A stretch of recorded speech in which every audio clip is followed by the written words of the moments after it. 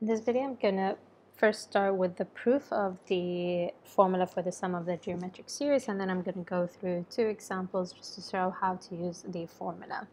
So if I first lay out the uh, bunch of um, terms in a geometric sequence.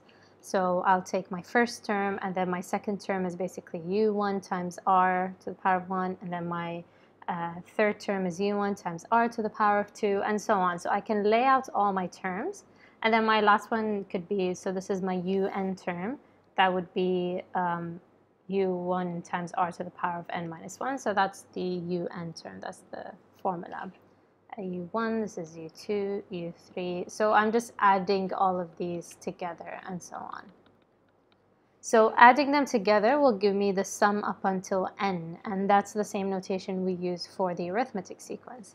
So this is the sum of the geometric terms up until n. Now if I um, take this sum and I'm going to manipulate it a bit and I'm going to multiply every single, I'm going to multiply r by the sum, which means I'm multiplying every single term by r. So I'm going to get this. So the first one, instead of u1, it's going to be u1 times r to the power of 1. This I'm multiplying by r as well, so it's going to be r squared. I'm multiplying this by r, so it's going to end up being r cubed, and so on. My last one, if I multiply u1 times r to the power of n minus 1, if I multiply it by n by r, sorry, it's going to give me u1 times r to the power of n.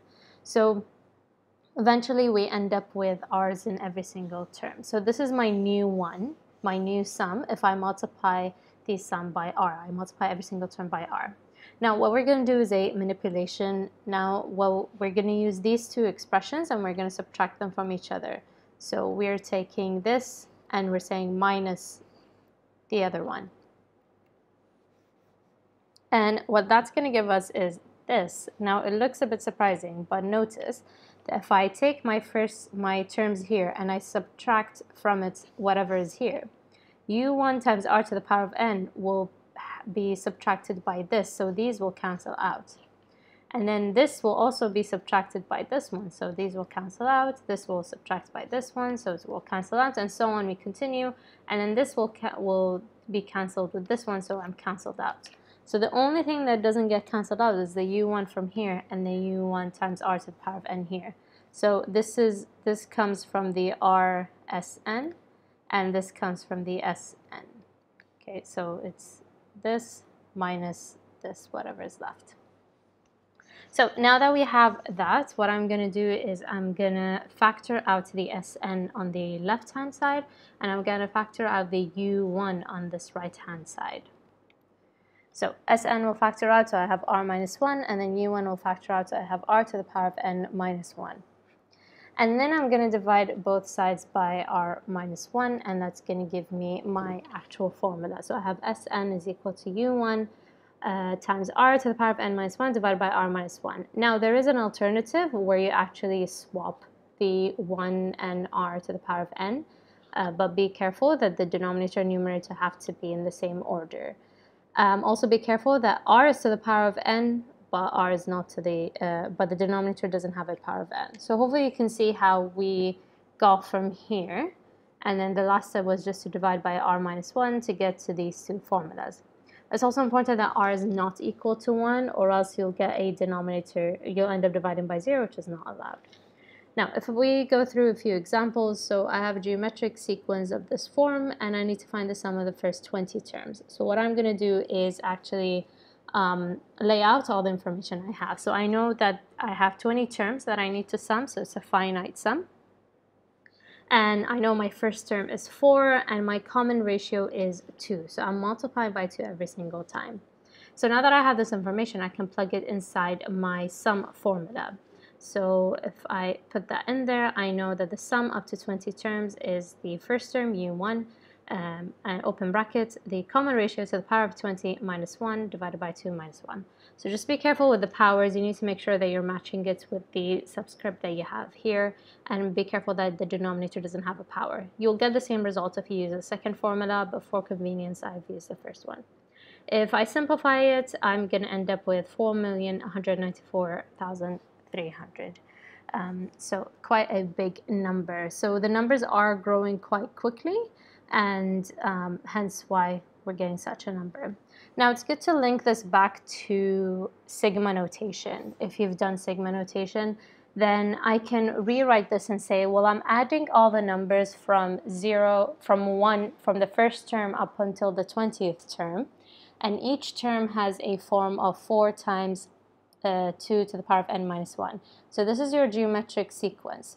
So this is a geometric sequence formula u1 times r n minus 1. So what you're saying is, okay, if I substitute n as 1, then it's going to give me the first term. And then if I substitute 2, it's going to give me the second term. If I substitute 3, it's going to give me the, um, the third term, and so on. So every time I substitute, it's going to give me another term, and I'm going to do that up until 20. So I'm going to get all the 20 terms, and then I'm going to add them all together. So this is just a shorthand way of saying add all the terms in the geometric sequence up until 20. Now, why is this useful? Well, if you want to check your answer in the calculator in a different way, again, if you have time or if you just want to double check your classwork, you can plug this into your calculator. So if you go to math, uh, press on the math button and then go all the way down to summation, sigma, and you're to get this expression. So you're to plug in all the numbers. You'll have a space to write here.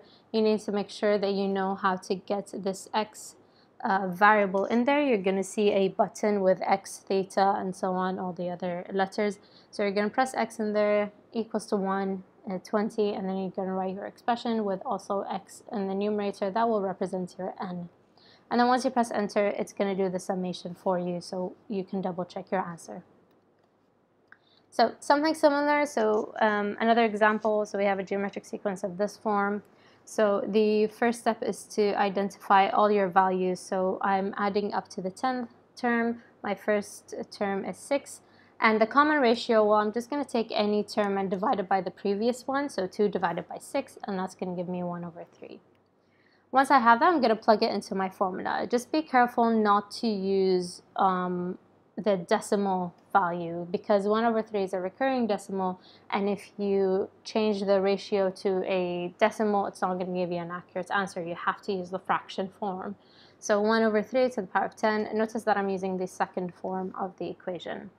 Again plug it into the calculator. This is going to give me 8 8.9998 which is approximately 9 but do show uh, that you you're getting an approximation to 9 Again, using sigma notation, I can plug it in and it starts from n equals to 1 up until 10. Uh, so I'm adding all the terms in this geometric sequence from 1 up until 10. You can use the calculator again. You put the summation in there and then plug your um, expression there using, again, 1 over 3 to the power of x minus 1, and that's going to give you the expression needed. So that's just to double check that you've done the formula correctly, um, a shorthand way of doing it, for example. So it's quite simple, the sum of geometric series, just make sure you have all the values that you need and you substitute it wherever required.